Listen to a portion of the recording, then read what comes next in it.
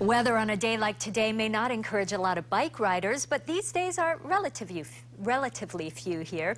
As traffic becomes more congested, there are ways for bike riders to take advantage. And one idea is picking up momentum. Kirk Matthews tells us about that.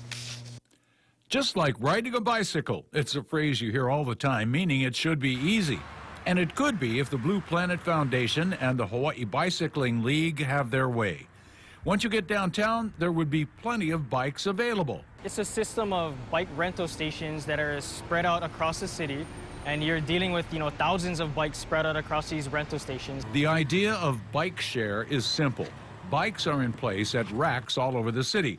With a pass, you check out a bike, ride it to your destination.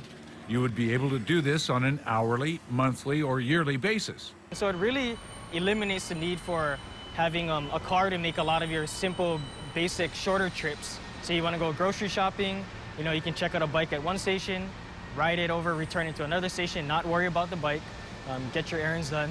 Bike riders have to take their own bikes, put them on the bus, and then find some place to store them when they're downtown. You would have to take your bike from home, put it on the bus, ride the bus to town, take your bike off the rack, then go do what you need to do, and you'll have the bike with you the whole time. The alternative, bike share, lets you ride the bus or even drive your car to work.